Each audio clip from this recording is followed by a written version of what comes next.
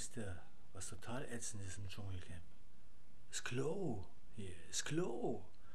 Das müsst ihr euch mal angucken hier. Da sind Pfützen unendlich hier.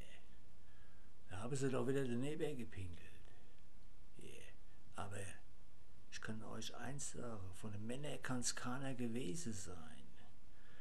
Weil Männer müssen seit Jahren auf dem Klo sitzen, auf dem Aber Das kann nur eine von den Mädels gewesen sein oder alle Mädels. Wer? Pfützen hier. Du meinst, du wärst im, im See hier, du. Kannst du drin baden in der, auf dem Pinkelzeug da, du. Hier. Hier, echt hier, du. Also ätzend, sowas habe ich noch nie gesehen, hier, du. Hier, das, das verstehst du nicht. Da sind die alle hier schigimigi angemalt hier und pinkeln daneben. Das darf nicht sein hier, du. Das darf nicht wahr sein hier im Dschungelcamp hier, du. Wahnsinn hier, du. Wahnsinn.